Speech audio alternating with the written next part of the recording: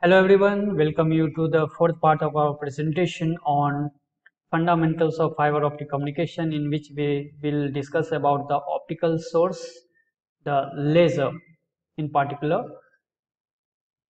So unit outcome is uh, to explain the working principle of a given optical source, here the laser. So a brief discussion about the laser. Laser is actually acronym or short form for the light amplification by the stimulated emission of radiation where a coherent light is generated which is narrow beam width and the lasers can produce high output power. In communication applications semiconductor lasers of power up to 20 milliwatt are available. And because of uh, the coherent nature of the laser light a high percentage say 50 to 80 percent of the radiated light can be coupled into uh, optical fiber.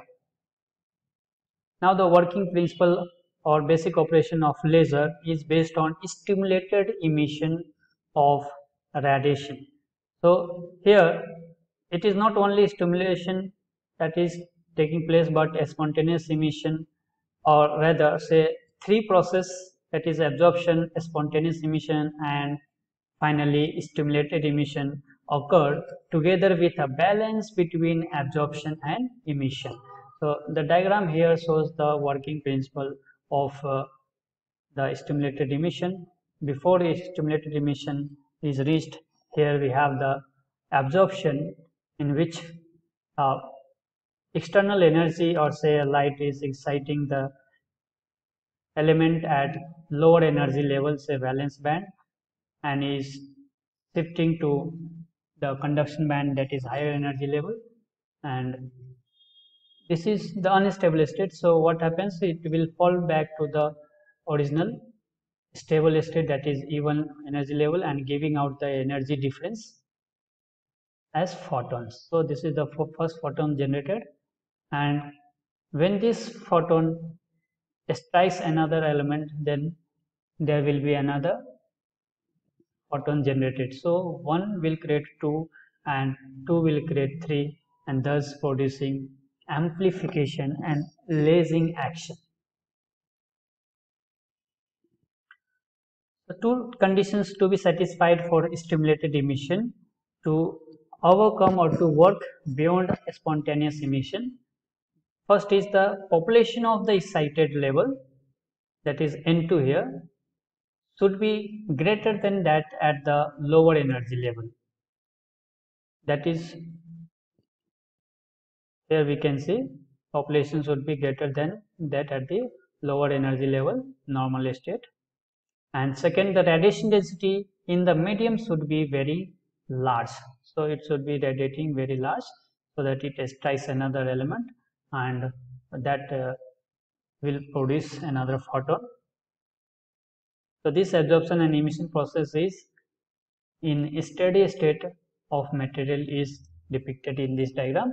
Now let's see what is population inversion taking place inside the lasing action. At thermal equilibrium, photon absorption and emission process take place side by side, but because uh, N1 is more than the N2 level uh, number of uh, the population density. Therefore, absorption is dominating at this stage where N1 is greater than N2. Now, laser operation requires stimulated emission exclusively. To achieve this high percentage of stimulated emission, uh, majority of atoms would be at the higher energy level.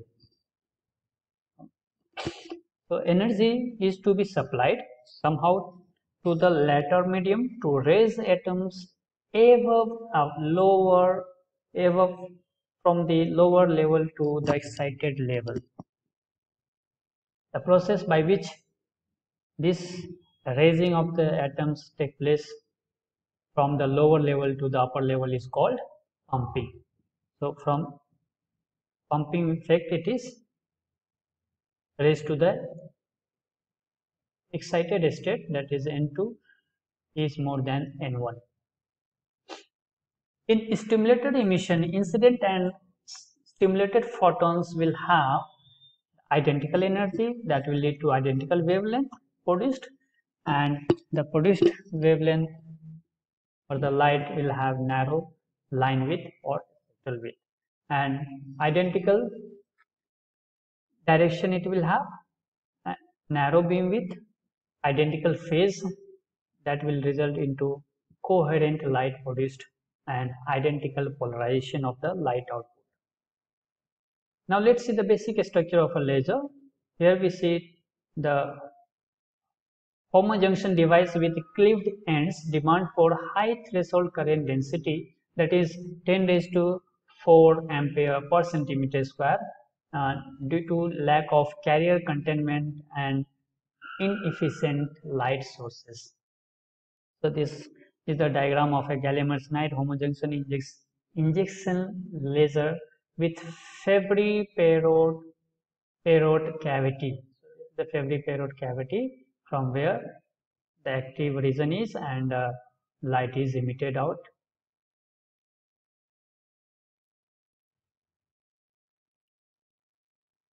And this is the light beam coming out from the active site and these two are the confinement layers.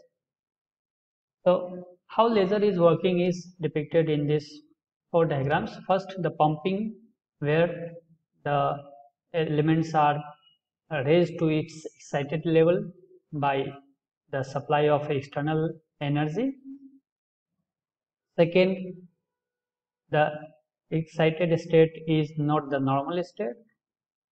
It will try to fall back to the stable state and thus giving out photons and thus a spontaneous emission or rare stimulated emission taking place where the photon generated is incident on another atom uh, or the element and that is radiating two one initial and another is generated. And here we see stimulated emission of light along the laser axis the third diagram here and the fourth down here is the steady state laser operation. The diagram on the left is showing the laser output spectrum. So it produces very narrow output. What are the advantages of laser? It produces more light output, has higher efficiency and the light produced is coherent output beam and narrow output spectrum is observed. It is suitable for longer transmission distance. It turns on and off at faster rate than the LED and the data rate that is possible could be in gigabits per second. Here we have the spectral width of LED and laser. So LED we find it is producing narrower beam width with respect to the spectral output power on the y-axis and the wavelength radiated along the x-axis in nanometer with respect to LED. Now let's see the comparison of LED and the laser uh, with respect to number of parameters. So sometimes uh, these parameters are given or uh, we are just asked to compare the two with respect to any four points.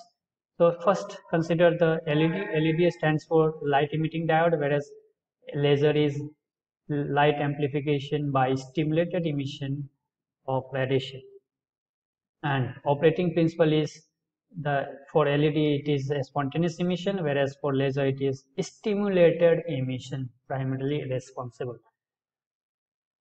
The types of LED, the two primary types are used surface emitter LED and edge emitter LED whereas for laser we have semiconductor laser or gas laser. The output beam from a LED is non-coherent and it is divergent means the since it is broader in a spectral width so it will not be specifically one particular color but multicolor could be there but laser is producing very coherent that is single color monochromatic is single color and the light output could be 20 to 100 milliwatt spectral width is broader for LED that we have seen in the previous slide. And it could be 20 to 100 nanometer at the half power level. And for laser it is 1 to 10 nanometer and is considered as very narrow as compared to LED data rate. Uh, it could be low data rate whereas for laser it can be for very high data rate transmission. And the transmission distance happens to be for LED it is shorter distance and like uh, LAN application a shorter distance communication Uh, whereas laser will be used for longer distance communication.